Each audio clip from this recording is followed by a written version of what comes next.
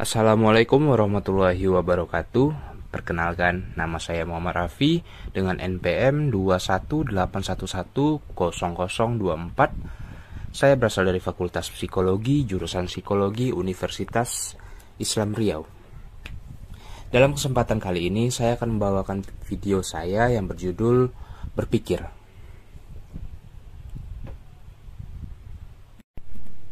Dalam melakukan kegiatan sehari-hari, kita pastinya tak lepas dari kegiatan berpikir. Sadar atau tidak, secara otomatis kita berpikir terhadap hal-hal yang terjadi, baik berpikir akan suatu gagasan maupun suatu tindakan. Jelas, kegiatan berpikir tidak dapat dipisahkan dari eksistensi kita sebagai manusia. Lihat saja contoh kecilnya seperti ketika kita berbicara, kita cenderung memikirkan apa yang akan kita utarakan atau bicarakan Ketika kita membaca, kita akan membayangkan apa yang kita baca dalam pikiran kita. Atau ketika kita sedang bermedia sosial, kita juga berpikir akan siapa atau konten apa yang akan kita nikmati untuk dikonsumsi. Apa sih berpikir itu? Terus, bagaimana proses berpikir terjadi? Lalu, macam-macam berpikir apa-apa saja. Juga apa-apa saja hambatan dalam berpikir. Pengertian berpikir. Menurut Kamus Besar Bahasa Indonesia, berpikir adalah menggunakan akal budi untuk mempertimbangkan dan memutuskan sesuatu. Lalu, menurut Vincent Ruggiero, ia mengartikan bahwa berpikir sebagai gejala aktivitas mental yang membantu merumuskan atau memecahkan masalah, membuat keputusan, atau memenuhi keinginan untuk memahami. Menurut Solso, berpikir adalah proses di mana representasi mental baru dibentuk melalui transformasi informasi dengan interaksi yang kompleks. Atribut-atribut mental seperti penilaian, abstraksi, logika, imajinasi, dan pemecahan masalah. Lalu menurut Edward de Bono, ia mengartikan berpikir sebagai suatu keterampilan untuk mendaya gunakan kecerdasan berdasarkan pengalaman. Jadi, setelah kita mendengar beberapa pengertian berpikir menurut para ahli, bisa kita rangkum kegiatan berpikir adalah aktivitas mental yang membantu merumuskan atau memecahkan masalah, membuat keputusan, atau memenuhi keinginan untuk memahami. Singkatnya, berpikir adalah pencarian jawaban sebuah pencapaian makna. Dalam kegiatan berpikir, terdapat tahapan-tahapan tertentu yang harus dilalui sehingga proses tersebut dikatakan sebagai bentuk kegiatan berpikir.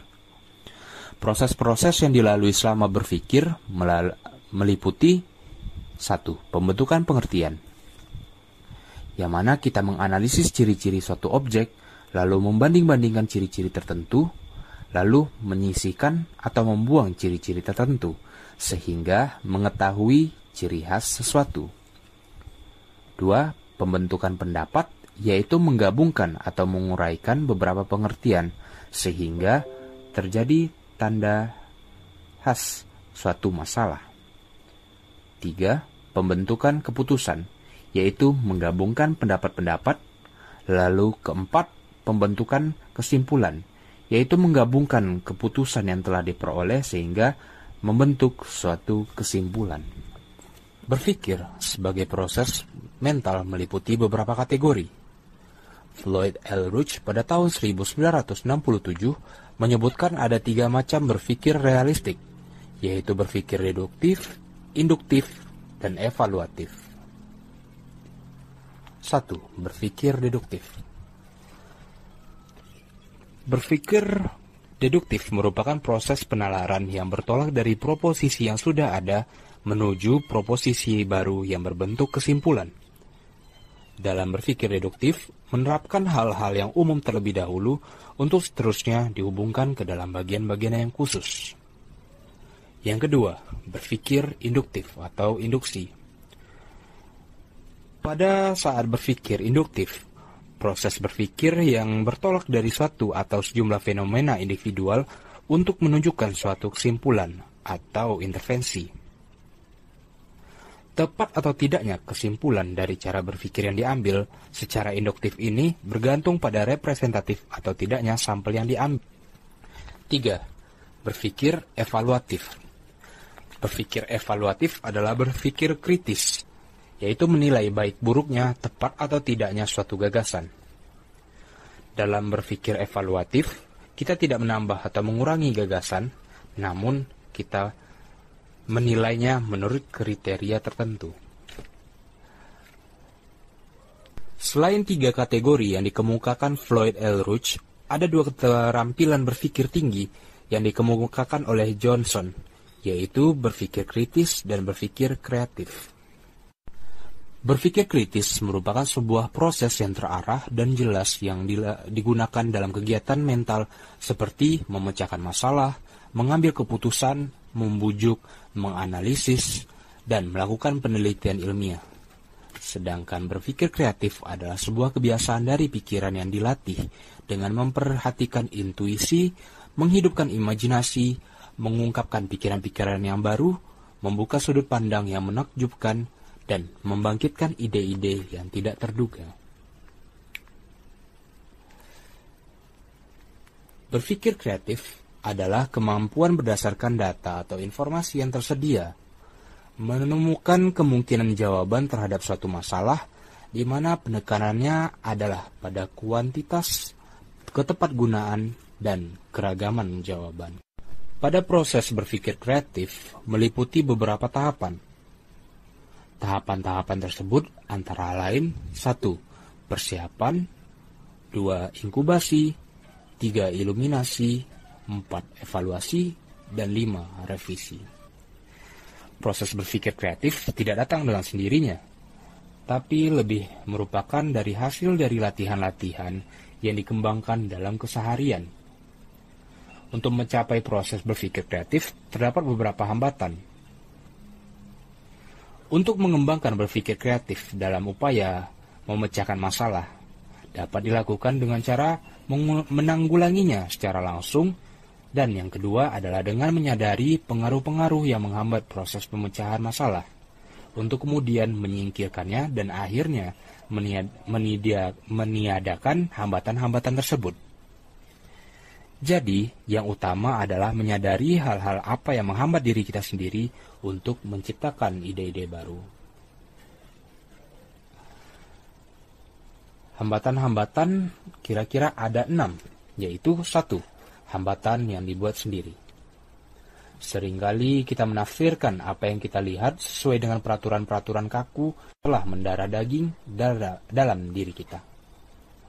Hal ini menjadikan kita tidak fleksibel dalam berpikir, sehingga kita tidak dapat melihat kemungkinan-kemungkinan penyelesaian lainnya. Kita terpaku pada satu jawaban karena pandangan kita sendiri.